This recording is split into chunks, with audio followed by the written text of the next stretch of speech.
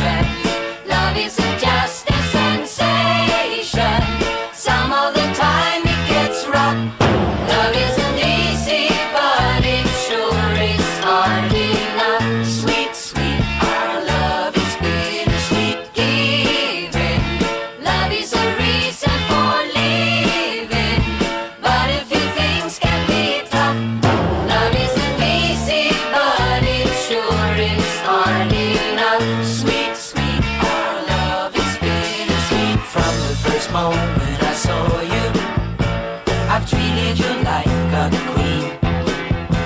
I've given you lots of